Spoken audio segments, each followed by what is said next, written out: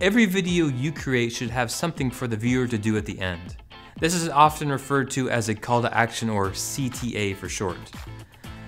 They are the key to your video success. I'm going to explain more coming up next. Before we get started, make sure you click the subscribe button and click the bell so you get notified when we post a new video. We post new videos every Thursday. Your call to action might be strong like those annoying commercials on TV. How about the price of one, six pack abs, and a date with this guy? Or they might be just a link to your website at the end of your video, or somewhere in between.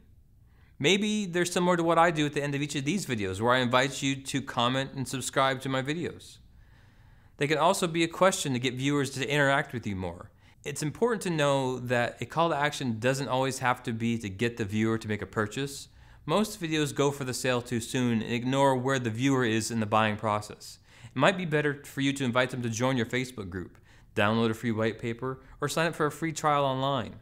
There are three types of call to actions that you can use in your video auditory, text, and buttons. You can use all three in your video, but if you do, just make sure they're all for the same call to action. You can't tell them to subscribe and have text that says buy now. If your video is on YouTube, you need to make sure you're using the end screens feature.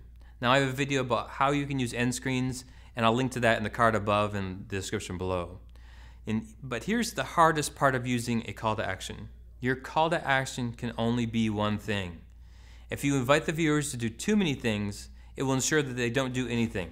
That being said, if this is your first time here, I invite you to subscribe to our channel.